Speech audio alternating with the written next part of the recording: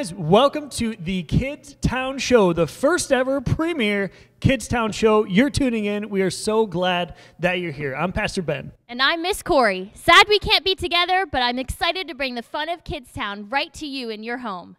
We've got all sorts of fun stuff planned. We've got game time with the incredible Mr. Mike. We've got visitors today from the Kenny and Clay Show. Their names?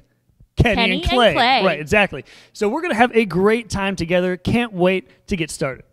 So let's jump right in. We're going to get started with Mr. Mike. He has a really fun game ready for you. Keep calm and game on. Game on. Hey there, kids. Mr. Mike here. Let's start out tonight with our clapping game. Remember, when my hands cross, you clap. If my hands don't cross, you don't clap. Here we go. Ready? Parents, you can even do this too. Here we go. Ready? Nice job. I think you're warmed up. Here we go. Ready? You ready? Watch this. My hands didn't cross. Be honest. Did your hands cross? Come on, guys. All right. This time I'm not going to cross them. Don't clap. Ready? Complete silence. All right, here we go. Ready?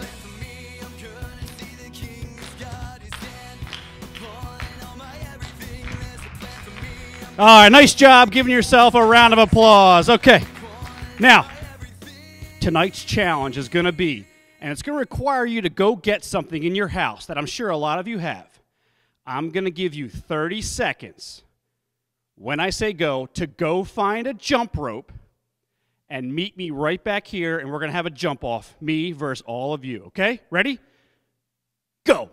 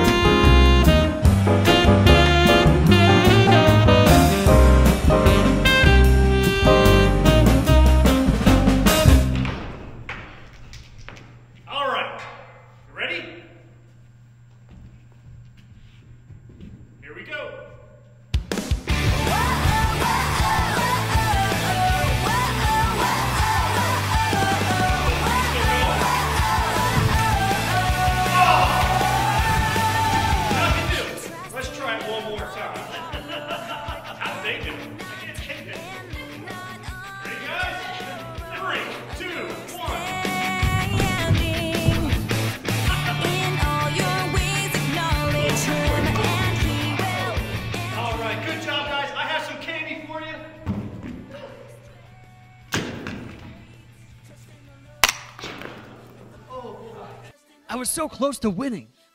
You were the first one out. Oh. Yeah, but jump rope is hard. Not that hard. All right, well, let's move on from that embarrassing spectacle.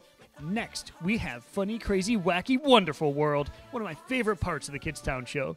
Funny, crazy, wacky, wonderful world is where we are going to do fun and crazy things that you might not get to do at home. In fact, don't do this at home. See, now, we have a special guest today, Kenny and Clay from the Kenny and Clay show. Let's head outside and see what they are up to. All right, Kidstown, so I'm here with Kenny and Clay. These guys are thinking ahead. Easter's coming. They want to have the longest egg toss ever. Hey, guys, how far do you think you can throw this egg and catch it? I think we can throw it pretty far. Probably farther than you could throw it. So. Um, I don't think so, but okay. How many feet? How many feet do you think? At least 20. 20 feet. 20 feet. I'm thinking more like 400, all right? So we'll see what they can do. Here we go.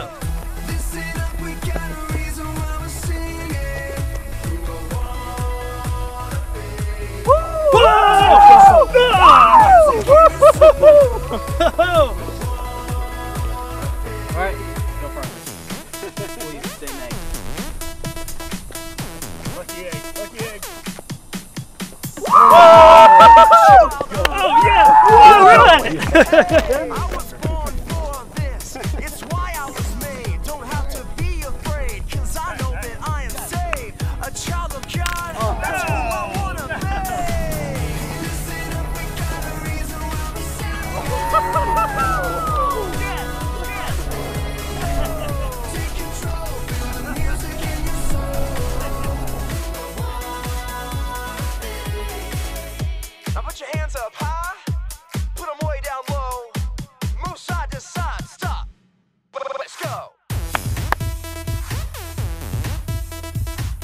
Hey guys, I, I gotta take this, all right? But you keep going.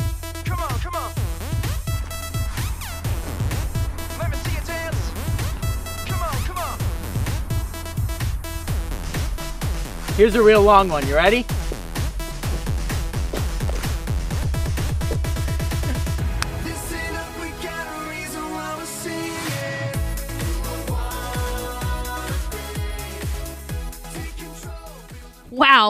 Those guys are incredible.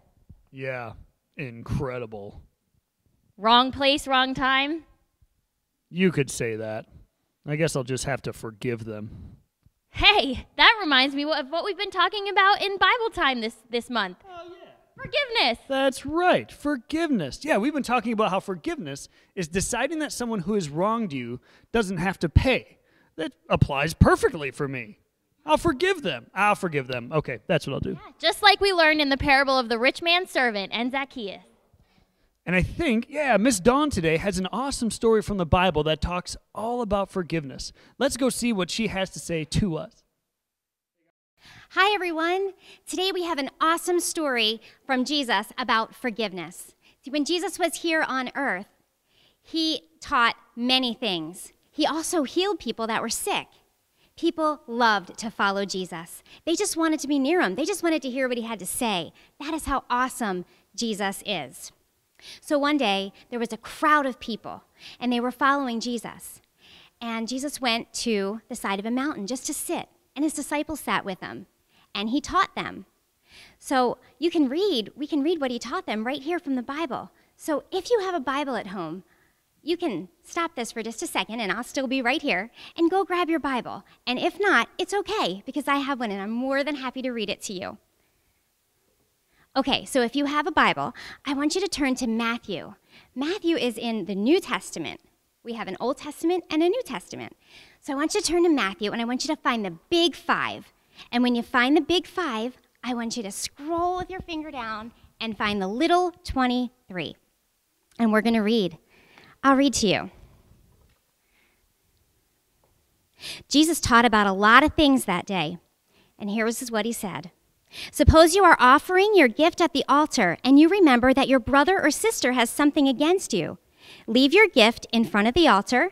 First go and make peace with them. Then come back and offer your gift. Now, today we don't offer gifts at God's altar. That's what they used to do before Jesus came. But we do worship and we do pray. And Jesus wants us to make sure that if we're angry with somebody, or maybe we did something to hurt somebody, that we make things right with them before we go to prayer with Him. I'm going to show you what that would look like today.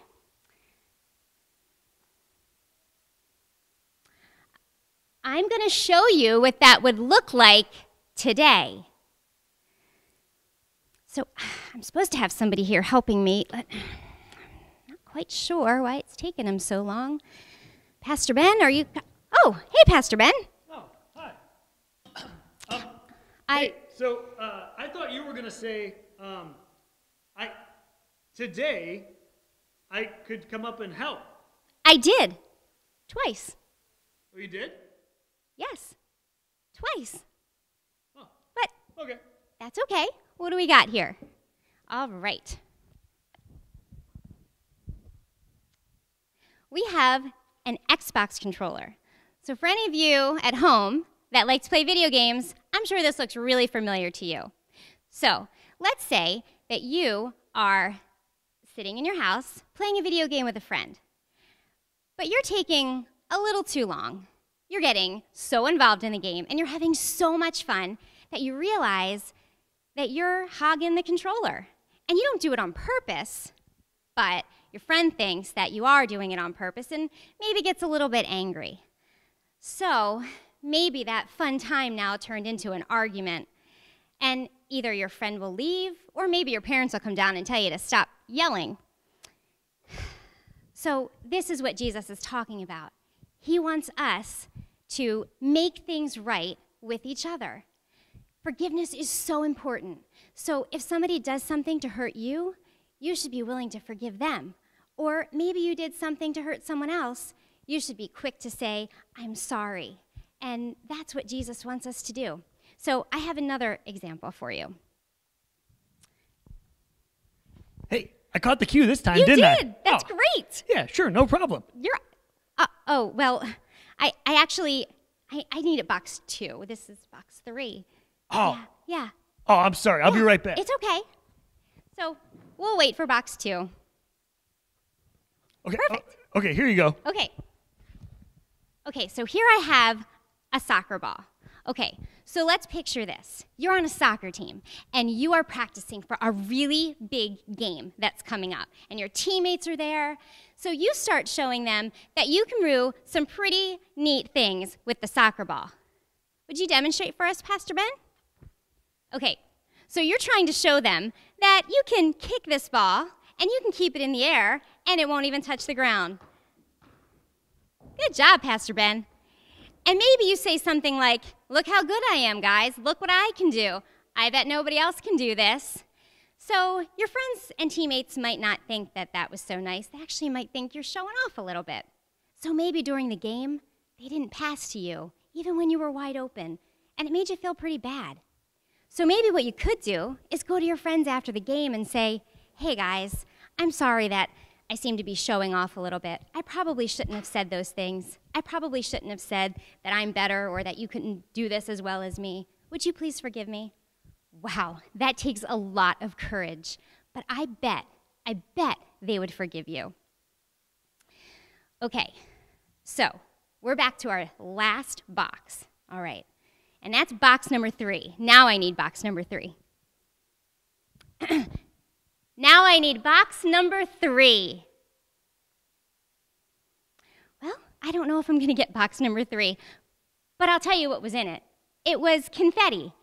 Um, how can. Oh, wait a minute. How? Why is this random box of desserts on the table here? Well, you know what? I could use this as my demonstration. Okay, so picture this. You get into an argument with somebody, and it's, it's just not feeling good.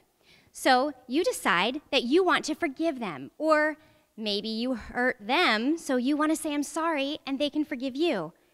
When that happens, it feels so good. Have you ever had somebody forgive you and it just makes you feel so good? Or have you ever been able to say to somebody, Hey, I forgive you? And that relationship gets restored? It is so wonderful. And you know what? It turns that problem into a celebration. And what do you do when there's a celebration? You eat dessert. So, hmm, that's some good dessert. Oh, hey, Hey. Pastor Ben. Uh, Miss Dawn, did you see? Did you see some whoopie pies around here somewhere? So I'm going to a party, and there's like 20 people there, and I had 20 whoopie pies, and I lost them somewhere. I I don't know where they are. Um, ac- actually, um, I I opened them Oh, and and and I ate one. you ate? Yeah, I oh, did. you ate my whoopie pies. I did. Oh. I'm I'm sorry, Pastor Ben. I, I didn't I didn't know they were yours. You know what? That's okay. Don't don't even worry about it. It's totally fine. Yeah, it's totally fine. Yeah, I'm gonna grab them though. Wait, so you're that's it? You're just you're not upset that you can't bring them to the party now? Oh no, that's okay. Yeah, I'll I'll, I'll find something else. Yeah, no problem. You just forgive me for opening your dessert and eating it without asking? Totally forgiven. Totally forgiven. Wow, that feels really good when somebody comes and forgives you. Thank you for forgiving me for that. Oh, don't even worry about it. My pleasure. So that is just a perfect example of how Jesus wants us to be with our family, with our friends. He wants restored relationships. So if somebody hurts you, you should forgive them. Or if you hurt somebody else, and maybe you don't even know what you did, but you just know that somebody is maybe not happy with you and you're not sure why. It takes courage, but taking that first step to say, hey, I'm sorry and I care about you, it goes a long way. And it feels really good to restore that relationship. And that's what Jesus wants us to do. Hey, and God forgives us every day for things that we do. So if God's forgiving us, we should show that same grace to the people in our lives and forgive them. I'm going to take a minute now and pray with you guys. Heavenly Father, we thank you so much for this day. And Lord, even though we can't be together at Kidstown tonight, thank you that we could still be here and, and share Kidstown with all the amazing kids at our church. Lord, help us to forgive one another the way that you forgave us. Help us to show grace, even when it's hard, and help us to be quick to say, I'm sorry if we've hurt someone. We ask that you just um, keep everybody safe, Lord, and watch over us. And thank you for this night. In Jesus' name, amen. Thank you, Miss Dawn. You're welcome, Pastor Ben. I'm so glad that Miss Dawn was willing to forgive me when I missed my cue and brought the wrong box and all that stuff. You know, inevitably, you're going to have to forgive someone. Someone's going to do something wrong, and you'll have the opportunity to take the first step to forgive. Uh, that's why Jesus came. Jesus came so that we could be forgiven by God, and now we can forgive others because of what He has done for us. So let's go and together follow Jesus and forgive those around us. Wow, what a great story from God's Word about forgiveness. Why don't we play a game to learn more about forgiving? Forgiving or unforgiving? I'm going to pick a scenario and you guys follow along. Tell me, is this scenario forgiving or unforgiving? Your friend says something unkind. You say something mean back. Kids, is this forgiving or unforgiving? Ding, ding, ding! It is unforgiving. Let's roll the die. Oh, two. If you answered unforgiving, you were correct. Take two steps forward. If you didn't, take two steps back. All right, let's do another one. Hmm. Your mom promises to take you out for ice cream, but the game goes too late, and that means no ice cream. Instead of getting mad, you say, It's okay, mom. Could we get ice cream tomorrow? Hmm, is this forgiving or unforgiving? Ding, ding, ding! It is forgiving! Great job! If you answered forgiving, take two steps forward. If you answered unforgiving, take two steps back. All right, we got two more scenarios. Let's see what's next. Your friend borrows your pencil and breaks it accidentally. When she apologizes, you smile and say, Accidents happen. Hmm, is this forgiving or unforgiving? What do you think? Yes, you got it. Good job. This is forgiving. Take six steps forward if you answered forgiving. Take six steps back if you answered unforgiving. We got one more. Here we go. Get ready. A kid on the playground pushes you during a game. You push him back even harder. Hmm, is this forgiving or unforgiving? Good job, you got it. This is unforgiving. Let's see. If you said unforgiving, take six steps forward. If you said forgiving, take six steps back. Great job, kids. You did a great job playing this game with me. In these scenarios, things happen that were unfair and hurtful. And sometimes when we get hurt, we want to hurt the person back or stay angry. But Jesus tells us to forgive first. So let's make sure that we take the first step to forgive so that we can protect our relationships with the people around us. Wow, thanks, Miss Corey. You know, forgiveness is so important to building up the relationships around us and to keeping those relationships healthy. I, I think that that was a great w- lesson from God's Word. Kids, thank you so much for tuning in to the Kidstown Show.